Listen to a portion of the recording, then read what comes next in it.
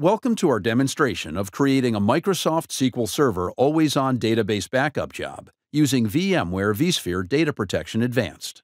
We begin by selecting Backup Job Actions and clicking New. Select Applications and click Next. Here we have the option to back up the full server or selected databases. Note that full server means all of the databases on the server. In our case, we wish to specify a single database for backup. So we choose Selected Databases and click Next. Note that VDP Advanced protects standalone SQL Server databases, failover clusters, and always-on clusters. Our customer's database in this example is hosted in an always-on cluster. We click the arrows to expand the list, select the customer's database, and click Next. Here we see the advanced options for backing up SQL Server databases with VDP Advanced.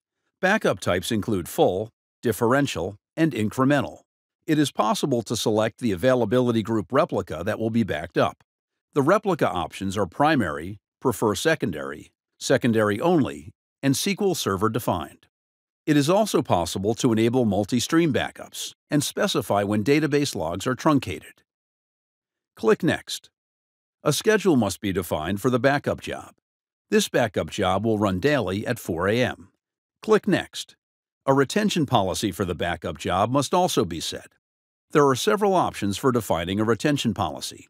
We will keep the default of 60 days and click Next.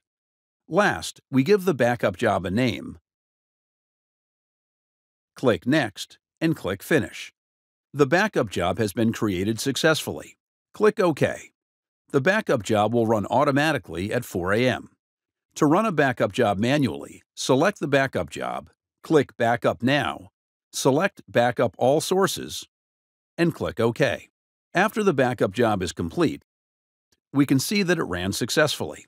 This concludes our demonstration of creating a Microsoft SQL Server always-on database backup job using VMware vSphere Data Protection Advanced.